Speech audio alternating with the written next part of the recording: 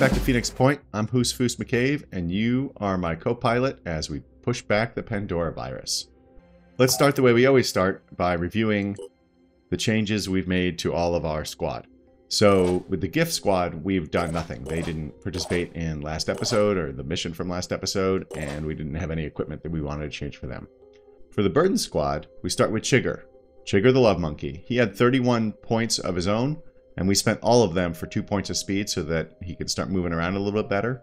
We also, as you can see in his in his hands, we gave him this Goliath GL2 grenade launcher because that way he can spread the love around. For Elsa, she didn't level up the way Chigger did. She's close. Uh, so we used her 10 points to give her plus one strength because clearly she's going to need it at some point. Raphael leveled up, so he had a bunch of points to spend. So we took Extreme Focus for 10, reducing his Overwatch cost by one action point, which is great. We know that. We've seen that. And then we also gave him uh, one willpower and one speed each with his remaining points. And So that leaves him six. With Nina, our assault, we spent all of her points and four more Phoenix Pool points, giving her plus one speed. We just need to get these guys moving more. For Kirill, we are sitting on his 10 points, we want him to level, and then we can start doing some more fun stuff with him. We also used some Phoenix Pool points last time around to give him, I think it was speed. For Kjotlek, he did level. In fact, he almost made it to another level. We spent 10 points on his first ability, Armor Break, so he can spend 3 will points to deal 30 shred damage. And I've been informed that it, even though it says additional shred damage, it overrides whatever shred damage the existing weapon does. And if you were to do it with something that has multiple rounds, that that shred damage would be spread across each of the rounds. It wouldn't be 30 on each of the rounds, which is unfortunate, but also not absolutely crazy. And then we put one point each into strength and speed because I want him to be able to get up close and then take a beating if he needs to.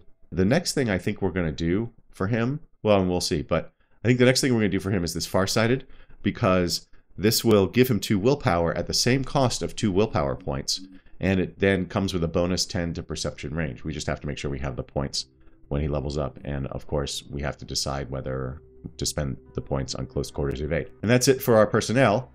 So let's check out our bases. There's nothing exciting happening anywhere but at Phoenix University. We've got just minutes left on this new training facility and then containment still has three days left. The other thing that I'm considering doing is this base, if we take a look, here it is. If we take a look, it is in the mist. So I think that means we can be attacked. So I am considering building a vehicle and stationing it there since we only have a couple of, of squad members there. So I'd love to hear your thoughts on whether that makes sense. I know Daddy Khan has suggested that I have a vehicle anyway, but sort of stationing it there in reserve is probably not exactly what he intended. So please let me know what you think. I adjusted our research queue a fair bit. I made our top priority the improved medkit. As you can see, it gives 50% more hit points and removes 50% of paralysis. I don't know how much paralysis matters for us, but certainly the 50% more hit points going from, I think it would be 80 to 120 is, is obviously a huge uh, bonus for us. And then we are still reverse engineering this Akana class shotgun. And I pushed basic bionic technology research down because I'm sure it's going to be expensive for us to do, and we're still building these guys up anyway. And then what I did was I removed the infiltrator. It is over here somewhere. We've got so much stuff now. Yeah, I removed the infiltrator because I'm not even sure we're going to be able to take advantage of it right away. And so I'd rather do some things that we know we can get benefits from. So I basically threw in every single possible autopsy, including even this uh, autopsy, which gives us 250 of these of these bonus points, which you can't even use until we do the research into mutations. But I'm sure we'll adjust the heck out of this thing along the way, so I'm not I'm not too worried. In manufacturing, we didn't make any changes. We're just chugging along. Here you can see the status with each of the factions. We don't care about bumping Synedrion until we finish their Diplo mission. And given the choice, because Sophia hates Tobias West, we're going to try to raise our reputation with Anu if we do get into positive territory with New Jericho, though, we'll put some serious effort into recruitment and trading with them. And I think that's actually very likely. If we go look at Overrun, this is a New Jericho mission. So we could actually bump our reputation with them to the point where we could do some recruiting if that's what we chose to do, or maybe some trading. I don't think we're going to get tech out of them because we'd have to bump it really high. So that's where we are right now. Let's take a look at our the location of our ships. So the gift is headed up. I have them headed up to the Chaos Market mission, but I wonder if we should maybe stop somewhere else along the way. Like maybe we can inspect this. Maybe we should take over this Phoenix Foxtrot. But maybe we'll leave them on that because it doesn't really matter that much because today we're going to take the burden to this Pandoran nest that we discovered last episode. So we're going to send them to there. And uh, just as a quick reminder, we do have some injuries here. Yeah, so Kotlek. So in fact, let's go here and give him another medkit because he is injured, as you can see, from being whacked by those dudes near the end of the last episode. So we will uh, heal him on his first turn. It's better than just sort of sitting around at a base healing. So let's head down there. Let's hit play. Construction Attack Pandoran Nest. The threat level is medium. The enemy is Pandoran. Corrupted area is the location. Do we know the light level? Oh, because it's inside, so it's the nest. Right. And we get all of these bonuses to reputation, which will actually push us over zero into positive territory with New Jericho, so we might be able to do something good afterward. Uh, so our objective is obviously locate and eliminate hatching sentinels to destroy the nest. We have to be aware of the Pandoran defense system. Sentinels will trigger if a soldier is in its sensor range or attacks them. Eggs will hatch if a soldier gets close. This defense system, this actually sounds new, but maybe it's just, maybe I just don't remember the, the way it was worded. And then enemy enforcements will just keep coming in from the generators. We've already been through everybody, so we don't need to do anything more there. And the only stuff we're going to be able to get out of here is stuff we pick up ourselves. So let's go. Oh my gosh, I completely forgot that now that we are in these places, we take corruption points. I completely forgot about that. Oh, that's uh, that's not great, but there's not really anything we can do about it. So everybody's everybody's corrupted now. Okay, let's take a quick look around. I love the inside of these things. So there's a there's a generator right here. How big is this map? Oh, right. We can't really see. We can see the edges of the map because I don't think the generators... Oh, we can see a sentinel right now. I don't think the generators... Excuse me, I think the generators are only on the edges. So we can get an idea of how big the map is. But the very first thing we're going to do is go to Gutlek that's Raphael. But, you know, the order of these things changes all the time. It's so weird. And we're immediately going to heal him. Okay, that's his move. Or that's two points of his move. See where that sentinel was. There's that sentinel. So obviously there's going to be some eggs there, because there always are. So we're going to creep up there. And see what we can see. We'll be a little cautious.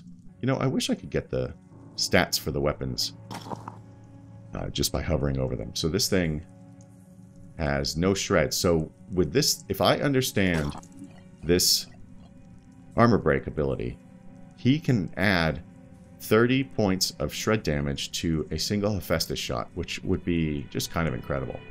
We're going to start with Kirill, because we know the guy is right here, and Kirill is all stealthed up. So let's move Kirill we want to make sure we leave enough action points for him to be able to shoot. But let's move him slowly and see what we can see. I'm sure we'll expose... As I was saying, we'll expose some guys. We've got another hatching sentinel and a poison worm. Okay. Okay, and then where... See the blue thing there is their activation radius, I, I assume. Kirill's already in it. So are some of our other guys. So I'm not sure how we stop them from preparing. Maybe we have to move our guys first. So maybe that maybe this guy will activate the moment we move our guys. That's not great. But Kirill is not going to activate this guy. So why don't we, since we know there's a dude here, why don't we move Kirill here? Still on Kirill? Yes, we're going to move Kirill here. Oh, another enemy. Wait. Oh, just another poison egg. Okay, that even makes more sense, because Kirill can be off on his own and start doing this thing, because we can actually use his, his uh, drone to remove the armor off these guys. But let's see, before we do anything further with Kirill, let's see what we can do with the rest of the squad. Changes the order of these things all the time. Is this Raphael? This is Raphael. Let's see if we can get a shot on this guy with Raphael. He can... He can see both those poison eggs and... Okay, hold on. Let's see... This is Nina? No, that's Elsa. What can she do? Okay, if we move Elsa here and shoot with her, she can hit, and she has like a big direct badass weapon. Like, does a ton of damage. Yeah, and it's single shot. So, uh, so we want her, and it's going to have a junk range, right? 17 range. So I think what we're going to do first is we're going to take Raphael. We're going to move him here. Oh, I hope this stone doesn't get in the way. Well, we're going to find out, I guess. Oh, no, I think that looks good. Oh, that looks extremely good. Okay. So, if we had Elsa in front of Raphael, would he would she block him at all? Because doesn't her weapon have shred? It does. So it will take it will shred all the armor.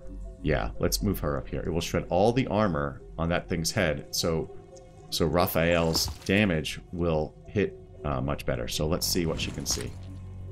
Okay, that doesn't look great. Oh, but you know what? With this giant head... Okay, hold on. With this giant head... She should, she should be able to hit, and this should shred it. Okay, we shredded... Let's just double check that we shredded that. I think I saw that we did. Minus 10 armor. Right, because I think the head only has 10 armor. Yes. Okay. Raphael can't do enough damage on his own but he can do he can do almost all we need. So Raphael, let's go. Let's take that guy out because I think I think if we take this guy out, as long as we don't get close to those poison eggs, poison worm eggs, then they'll never be activated. Let's see what they're... Wow. Okay, hold on. They only have 7 perception. Yeah, okay. So, we need to take out... How much does this thing have left now? 24 and it's days. Not that that matters for these things. We've established that before. Nina can see the poison eggs. Oh, wait, but she can move up more.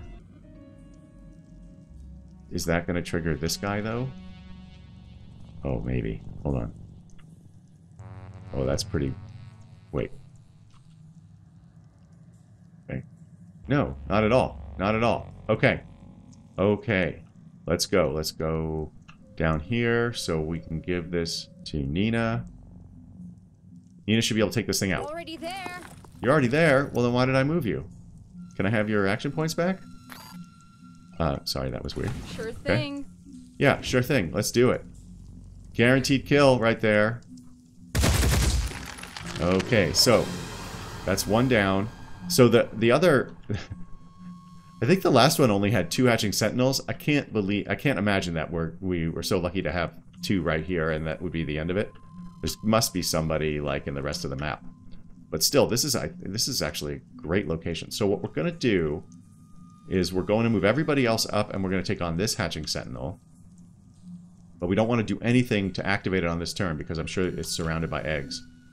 So, who are you? You're Chigger and Kirill. Right, like used all of his points. Okay, we still have some movement on Kirill. How far can we move Chigger? We can move Chigger all the way up here. Where is... Okay, where's its perception? Okay, so... Okay, let's move him right here. It should show a yellow thing. Maybe the grenade thing doesn't work that same way. Double time.